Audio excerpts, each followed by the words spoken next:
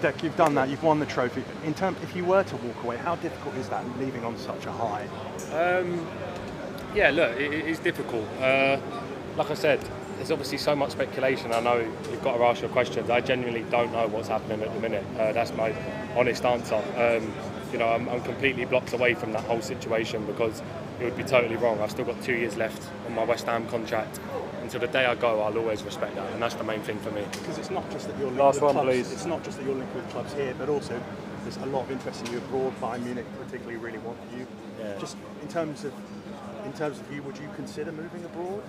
Look, I think you know, last two three years it's been non-stop about me, um, and to, to, to read it myself is actually getting quite boring. um, so look, who, who knows actually what's going to happen? I think it's it's flattering, you know, to obviously be wanted by a lot of clubs, but like I said, the badge on my chest tonight is West Ham. Um, I've still got two years left on my contract. You know, ultimately, it's up to the it's up to the people above.